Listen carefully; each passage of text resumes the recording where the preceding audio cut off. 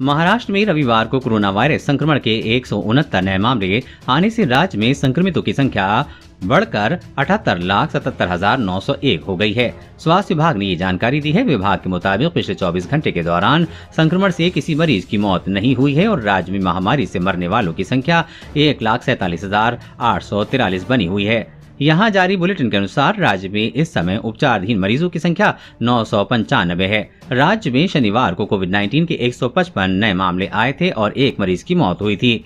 विभाग ने बताया कि दिन में एक सौ बहत्तर लोग महामारी से स्वस्थ हुए हैं और इस प्रकार राज्य में अब तक संक्रमण मुक्त होने वाले लोगों की संख्या बढ़कर सतहत्तर लाख उनतीस हज़ार तिरसठ हो गई है। विभाग के अनुसार गत 24 घंटे के दौरान राज्य में आए कुल एक सौ उनहत्तर नए मामलों में 120 मामले मुंबई महानगर क्षेत्र के हैं, जिसके तहत मुंबई शहर, ठाणे, नवी मुंबई और आसपास के इलाके आते हैं। बुलेटिन के मुताबिक महाराष्ट्र में कोविड 19 से ठीक होने की दर अट्ठानबे दशमलव एक एक प्रतिशत, जबकि मृत्यु दर एक दशमलव आठ सात प्रतिशत है।